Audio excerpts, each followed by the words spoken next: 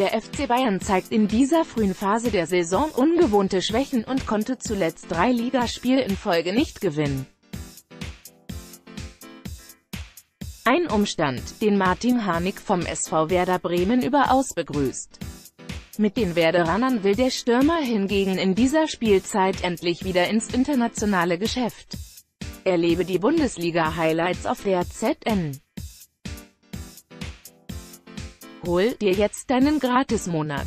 Der Liga tut das unglaublich gut, dass auch die Bayern mal Schwäche zeigen. Das führt sicherlich zu mehr Attraktivität, konstatierte Harnik am Samstag am Rande des Abschiedsspiels von Per Mertesacker in Hannover.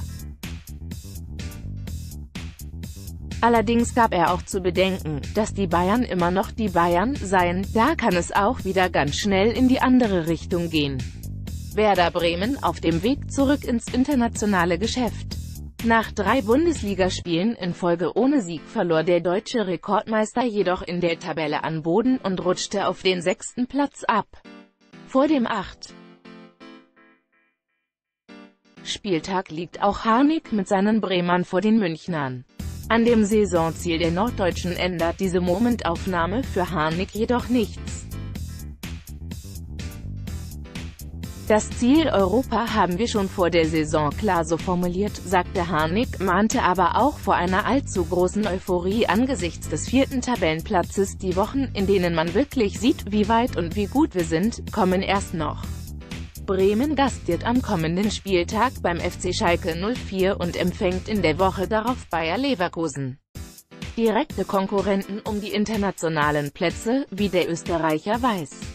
Außerdem habe man auch gegen Bayern, Dortmund und Leipzig noch nicht gespielt.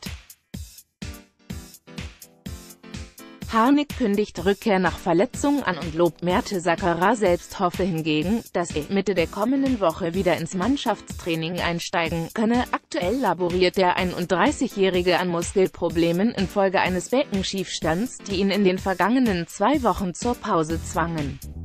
Die Verletzung hatte ihn jedoch nicht davon abgehalten, am Abschiedsspiel seines ehemaligen Weggefährten beim SV Werder Bremen teilzunehmen. Das war schon eine schöne Sache, gab der 31-Jährige zu und lobte Mertesacker als besonderen und angenehmen Typ. Er hat Hannover vor so vielen Jahren verlassen und kommt dann hierhin und 40.000 Leute nehmen Abschied. Ehemalige Weggefährten erweisen ihm die Ehre, erläuterte Harnik.